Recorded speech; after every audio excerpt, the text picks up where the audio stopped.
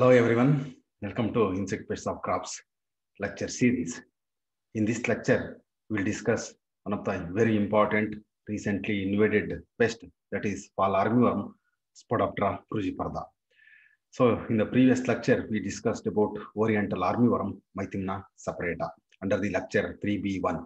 So in 3b2, so we'll be exclusively discussing on fall armyworm, Spodoptera frugiperda, which is very seriously infesting maize crop throughout India. Okay, so we want to know its present distribution, its life cycle, damage, and its management strategies. So before getting into the discussion on fall armyworm, we want to know what is the difference between armyworm and cutworm. So these two terms are used interchangeably many times. So we should know, is there any difference? In fact, both of them are belongs to family Noctuidae. So cutworms are usually solitary as they grow up, but armyworms mostly gregarious. But it is not so in all the species of armyworms which we come across. Cutworms, they feed at night. Armyworms, they are usually diurnal, but partially nocturnal as well. Cutworms, the larvae are called cutworms because they cut down the young plants as they feed on stem at or below the soil surface. So they usually cut the base of the seedlings. As a result of that, they earned the name cutworms. But armyworms are usually defoliators. Okay, so very rarely they also infest ear head. In the event of food depletion and crowding, okay, so if there is any now high population and scarcity of food, they will march out of the crops in search of food, which gives them the name armyworm. Okay, so more or less they are defoliators, most of these armyworms. But cutworms, usually they act as both defoliator and at the same time they cut the base of the seedlings. So that's how they can be differentiated. But many times the cutworms and the armyworms names are used interchangeably. So in fact, there are a number of armyworm species around the world. So few of the worst are very important major pests are listed here. Now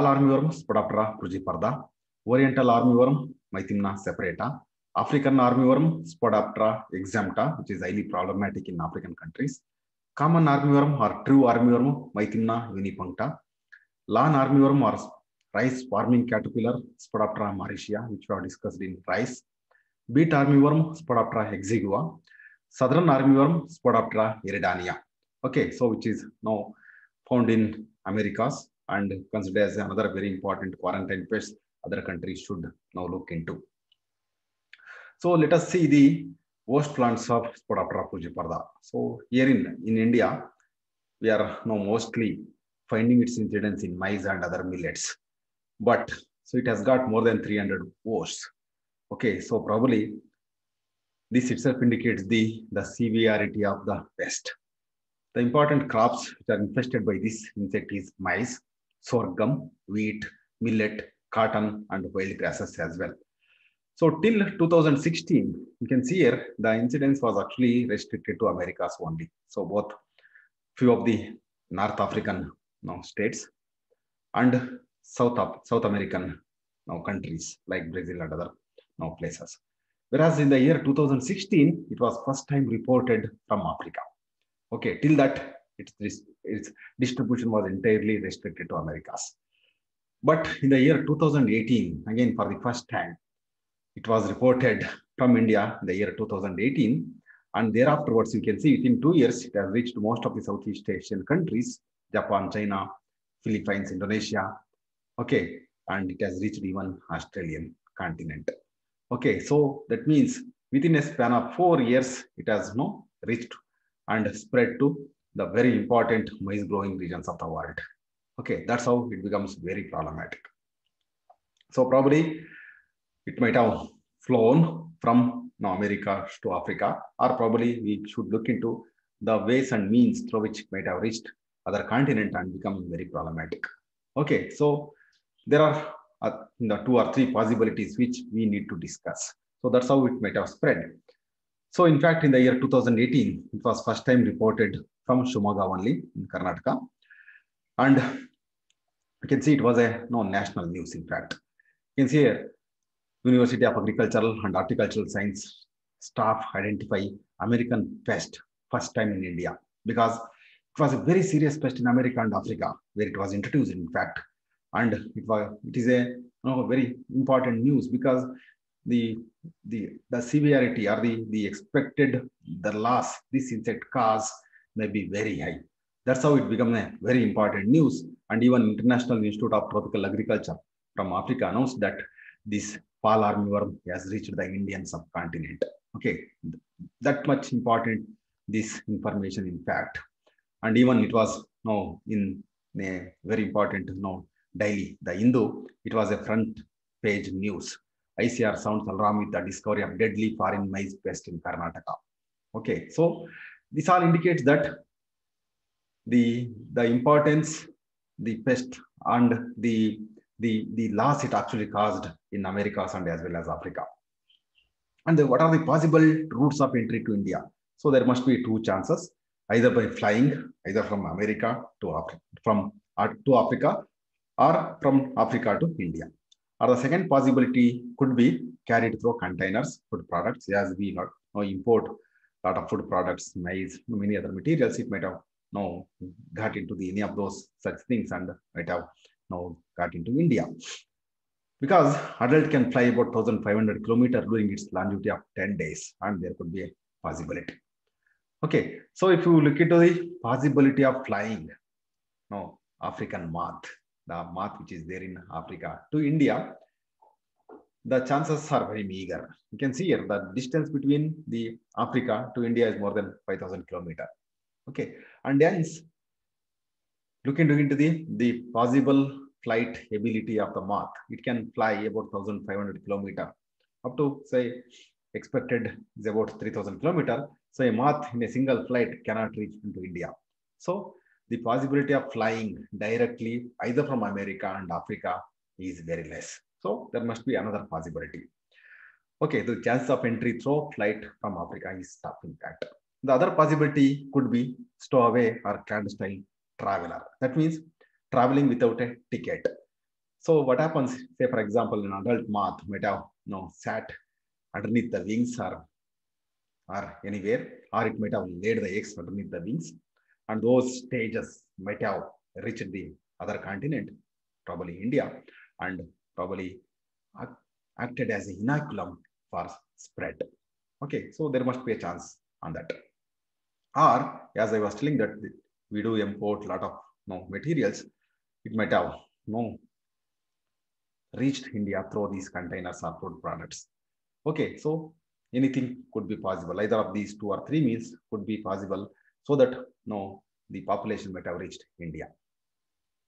One interesting fact which you should look into, if you see the invasive pests which have entered in the last 20 or 30 years, if you see coffee berry borer, spiraling whitefly, coconut mite, Bemisia tabaci, biotype B, eucalyptus gall wasp, papaya mealybug, South American tomato moth, western flower thrips, very important pest in the US, coconut rugose whitefly, solanum whitefly, fall armyworm, woolly whitefly, which has now reported in the year 2019. If you see this, you can see this column, you can see here. So most of these invasive pests originated from America. We do not know how these American invasive pests are reaching India, but so one of the things which the authority should look into and so to avoid the possible entry of any of these invasive pests in the future. Looking at the, the nature of damage caused by this Spodoptera frugiperda, the early instars, when they, once they hatch from the eggs, they damage by scraping the maize leaves. You can see here how actually they are scraped, leading to whitish patches. And later, small window panes can be found on these infested leaves. You can see here small window panes. Otherwise, you will find these whitish patches on the young seedlings which are know, infested by this fall armyworm. You can see a very clear skeletonization by the early instars. Okay, they scrape and then they fall down with help of silken thread. These larvae secrete and they get you know, blown away through the wind and reach to the other plant so that you know, a single mass of egg you know, can spread to hundreds of plants and become very problematic. So whereas later instars, you can see here, they confined to mostly deep pools. okay, and feed extensively on the inner whorl. So as they open up, you'll find the lot of you know, torn up leaves like this and also accumulated excreta in the deep whorl. Okay, so extensive defoliation and accumulation of excreta in the whorl are the common symptoms which we notice. If you know, just open the whorl, you'll find the larva inside. Otherwise, you'll find generally the excreta accumulated in the whorl. So they also infest, larvae also infest the tassel as well as the carp. So generally we'll find two or three larvae maximum per plant. Okay, so that's how a single mass of egg, which may contain about thousand number of eggs, can spread to more than 500 number of plants and become very problematic. So probably if you see the recent data, so it has covered most of the Indian states now. Okay, except probably Jammu Kashmir, from where there is no report yet. So most of the South Indian states and many of the you know, North Eastern states, Western states have been covered. Okay, so very short period of time, within two years, it has spread to most of the Indian states. In fact, in America, there are two strains of Spodoptera frugiperda has been reported. So I'm talking about America. So there are two strains. One is called rice strain, and another is called maize or corn strain, R strain or MRC strain. So in fact, in America, that rice strain which is there, these are nothing but the populations which are you know, most likely found on rice or on maize. Okay, the rice strain which is found generally on rice can infest the rice to the extent of 53% or it may prefers the rice to the extent of 53%, 0.06% on cotton, 0.06% on sorghum, whereas it also infests the corn to the extent of 35%. Whereas maize strain can infest the corn or say maize to the extent of 42%, 34% of cotton, okay, 19% of sorghum, and to very less extent of rice. And as of now, we do not know which strain has entered India. Okay, so a lot of molecular work has been targeted by the Indian researchers and we are trying to know which strain might have entered. But as of now, whatever the populations which are found in India are mostly feeding on maize. But we cannot know correctly prove through the molecular studies that it is entirely maize strain because we are not finding a very serious incidence on cotton and even on the sorghum. And probably sorghum we are finding to at least this extent, but not on rice. But the populations which are occurring in India are not now finding or now preferring the rice as far as the, the data of last two years is considered. So there is a need to know which strain is in India. So this has got a very important information so that we can know think what precautions to be taken for management. So what are the reasons for establishment and spread in India within these two years? So a female can lay 100 to 1500 number of eggs. In a single mass, it may contain more number of eggs. And they can feed and survive on more than 300 hosts. But as of now, very few number number of host plants have been reported in India. But so if there is no such host which is preferring, which this insect is preferring, probably it may also attack number of other hosts as it is now that been reported in US. Adult moth can fly more than 300 kilometers per day. It can live for about 10 days. You can see it can you know, more than 1,500 kilometers, 3,000 kilometers it can fly. So probably it was reported for the first time from Shimoga and you can see here in a short enough time it was reported probably one of the best reason to say that the ability of the moths might have you know, helped the you know, insect to spread. Native parasitoid activity is very low, of course. So whatever the parasitoids which infest other noctuids are not parasitizing to higher extent, leading to high population. Crop availability both during Kharif and Rabi. So one of the other crop will be there, or the, these maize will be available throughout the year.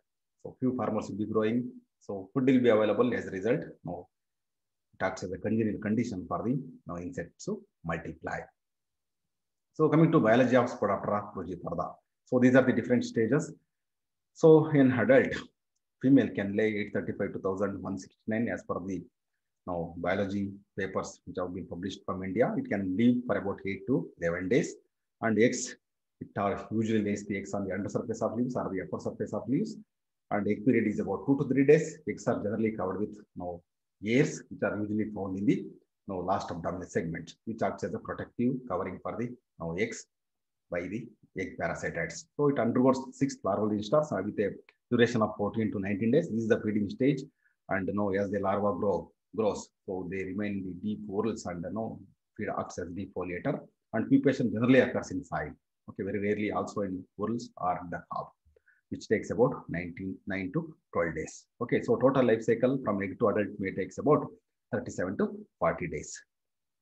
So these are the different larval stages. You can see the well-grown larva it can be easily identified with the help of few of the identification characters like you can see a pale dorsal line in the dorsal region and there is a there are two pale laterodorsal line you can see here.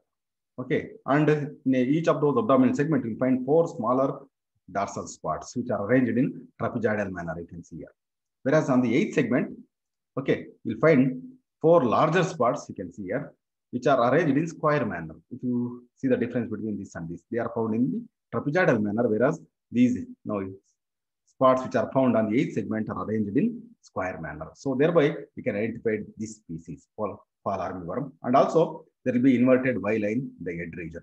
Okay, so thereby we can distinguish the fall armyworm, Spodoptera frugiperda. And the pupation occurs in soil. Usually it covers the you know, pupa with the earthen layer which gives the protection against parasite second. So, and even the pupa, you can distinguish the sex. So in case of female, you can see the distance between the female genitalia and the anal slot, okay, is much larger compared to the male, where the distance between the male genitalia and the anal slot is very small. Okay, so thereby you can distinguish these two no, sexes. So even at the end of the pupa, there will be cremaster, two horn-like structures. Even the adult can be distinguished with the help of you know, number of characters. So they are usually sexually dimorphic. So male and females looks very different. So important characters in order to distinguish male are, so the four wings are light brown, whereas number of spots will be there. One is called orbital spot, you can see here, which is light colored, oval or oblique. This is the one. The another spot is called reniform spot, which is indistinct, not so clear, but if you see from the lateral side, sideways, it is V-shaped. Okay, you can see it. And there will be, at the apical region, there will be a white patch, you can see it. Okay, so thereby you can distinguish the Spodoptera frugiperda. Whereas the, the hind wings of both male and female, you can see here they are cream colored. In case of female, you can see here, so not much spots are found. So usually they are more or less uniformly grayish brown in color. Okay, but there are a number of spots present in case of males. So thereby you can distinguish males and females of fall armyworm. In order to understand the incidence level, or in order to know the management strategies to be targeted, we need to understand the growth stages of maize. Okay, so once you sow the crop, so it germinate, it reaches to say 10 to 14 days after germination, there will be one or two leaves which are very clear, well grown, which is called, you can see here, vegetative stage is called VE. The seven day old crop is called V2. 14 day old crop is called V5, which is nothing but the vegetative stage fifth. Okay, so V8 stage, at, it reaches at now 21 days. Like that V12, V17, tassel stage. V12, it's called now 28 day old. So uh, sorry, no, which is about it takes about 45 days. And reproductive stages are called R1 to R5, tassel and silk stage and tassel and calf stage. Okay, so what happens? If you look at the, the incidence level as far as the India is considered so far, the incidence is actually mostly restricted up to 45 days. Okay, so thereafter the incidence actually goes down. So goes down, you can say that it is very negligible after 45 days. So this information to be considered while know, taking any management strategies. So we need to know the, the level of damage in your field. Okay, so then only once you identify the level of damage, which we call it as economic threshold level, it is possible to take up management strategies. So which is which can be you know, identified with the help of scouting. So there are two ways of scouting which have been identified. One is called W manner. Okay, so what needs to be done is that we need to walk for about five meter like this, five meter like this, five meter like this, like this. So now it takes the shape of W. Once you complete this you know, movement, you need to count total number of plants you can throw and count how many are infested and calculate the percent infestation, which is very much important. Say, for example, 50%, 30%, 20% like that. Or you can go to another model called ladder manner, wherein you need to walk like this. Okay, take a turn and then finish up another five meter like that. So five or six runs are required in order to complete a ladder shape. And again, you count the total number of plants and how many were infested and calculate the percent infestation. So based on that, once you come out with the, the that statistics, once you know that this is the level of infestation, what needs to be done? You can see I repeat the crop is germination to 10 to 14 days to 21 day crop. If the incidence is 20%, you need to go for spray. Okay, you need to take up management strategies. But at the whorl stage, that is at V5 to V12 stage, if the incidence is up to 40%, you need not worry. If it crosses 40%, you need to go for spray. Okay, management strategies should be initiated. But at tassel and silk stage, if the incidence is 20%, even up to 20%, there is no necessity of spray. Okay, looking into this data, economic threshold level, you need to go for management strategies. So what are the management strategies then? So in order to you know, reduce the population to very low level, you need to employ integrated pest management strategies. If you employ any one strategy, okay, it's not possible to reduce the infestation. That's why integrated pest management strategy need to, uh, need to be adopted for management of this very severe, so major pest of maize. So we start with the cultural control strategies. Flowing of all fallow land exposes pupae to desiccation. So what happens? The pupa which are there in the soil get exposed to high temperature, they may die or they may access food for avian predators and as a result population get reduced.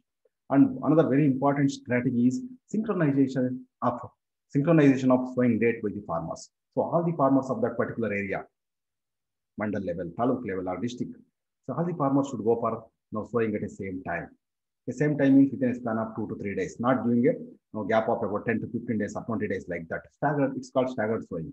If you do like that, whatever the population are there, okay, we spread to all the area and you very less infestation occurs. But if the staggered sowing occurs, the population, so in the particular area, complete the life cycle and then, then they move to a newer area and the incidents become very serious. So that's why synchronization of sowing is very important. Another very important strategy is that collection and destruction of egg masses. As I was telling that eggs are found generally on the under surface of leaves or the upper surface of leaves, and they are found in masses. So if you move out, okay, you'll generally find okay eggs and which needs to be scratched, needs to be pressed, so that in a single press you may kill about know, thousand eggs, so that we can minimize the population. Very important strategy, in fact. Coming to mechanical strategies, so setting pheromone traps four per acre. So you can increase the height of the you know, trap to canopy level as the crop grows. So that attracts the male moths. Okay, so this is female producer sex hormone has been exploited for the you know, management of Spodoptera frugiperda. Coming to biological control strategies, so spraying metarhizium rileyi. Why this metarhizium rileyi, which is considered as entomopathogenic fungus, is working very well, especially in the Kharif season in India. Once the humidity is good, there will be cloudy weather. That congenial condition is actually responsible for uh, proliferation of spores and becoming very you know, severe for the fall armyworm. And as a result, the incidence of this fungus is actually reducing the population of Spodoptera frugiperda. Okay, so in order to augment further incidence of this metarhizium rileyi, you need to go for spray. Okay, otherwise, natural incidence of this you know, entomopathogenic fungus itself is more than 50% in many parts of Karnataka. Okay, so because in the Kharif season, we encounter that now cloudy weather and higher humidity, which help for the proliferation of metarhizium rileyi, reducing the population of fall armyworm. Okay, so in rainy season, usually, I know incidence of this metarhizium rileyi is responsible for our reduced population of fall armyworm. So one more important biological control strategies are use of trichogramma egg parasitoids, which can be released at the rate of 50,000 twice at 15 days interval when the crop is 15 to 30 days. So twice it needs to be released. So they parasitize the eggs. Or else, so if you minimize the incident, you know, insecticidal spray, you can conserve the another very important parasitoid, which is working very well naturally is the Telenomus remus, which belongs to family Platygastridae, which is working very well. It is reducing the population. Okay, so these two egg parasitoids can be exploited for the management of fall armyworm. Coming to chemical control strategies, one important strategy which the Indian government now approved is the seed treatment with cyantraniliprole and thiamethoxam at the rate of 6 ml per liter of water. Okay, so That means the seeds has to be coated with this insecticide and then you can go for spray, you know, sowing and it takes care of the population. Okay, up to 20 days. Take care of the you know, crop up to 20 days. As a result, we can minimize the, the spray operation. Okay, so seed treatment. Otherwise, looking into the, the economic threshold level, we can go for spray operations. So we can use azadirachtin 1500 ppm at the rate of 2 ml per liter of water or any other no, synthetic insecticide like lambda cyhalothrin plus thiamethoxam combination product 0.5 ml per liter of water, chlorantraniliprole at the rate of 0.4 ml per liter, spinetoram at the rate of 0.5 ml per liter of water, emamectin benzoate at the rate of 0.4 grams per liter of water. So only thing is that, so whatever the insecticide, whatever may be the insecticide which you use, the spray should be directed towards the whorl region of the maize plant. So that, as I was explaining that larvae usually found hide in the deep whorls, the insecticide reaches and kills the insect larvae. So that's why the farmer, whenever he is spraying, you need to target that you know, spray nozzle towards the, the whorl region so that we can effectively reduce the kill the larvae. So another very important point to be remembered is that if the farmers follow IPM strategy, the two on community basis, that means all the no, all of the farmers of that particular area, say mandal level or taluk level or the district level, all the farmers they take up on community basis, whatever the management strategies they are adopting in that region. If all of them do no, at the same time, so definitely this fall armyworm can be minimized. Or if the no single farmer does it, if the neighboring farmer is not doing it, so definitely insect actually moves from field to field and causes enormous loss. So this point should be remembered and taken care of. So before ending my lecture, I have few few questions. Why this insect earned the name fall armyworm? So so many times I use the word fall armyworm, fall armyworm. So what it means? Why it earned the name? What is the impact of fall armyworm on regional and international trade? Whether it has really affected the no export or impact, no import. What are the native potential biocontrol agents of fall armyworm for its management? Because it's an introduced species. So in India, we do not have much no parasitoids, okay, which is no parasitizing. So probably, so some of the native parasitoids or predators can be exploited for better management of this insect. So what are the bio, no, potential agents which can be exploited? So there are a lot of no, publications already. So some of the publications which I am no, giving link below this no, presentation. So kindly go through that. And if you have any questions, oh, you can ask me or you can email me as well. So thank you. Thank you very much.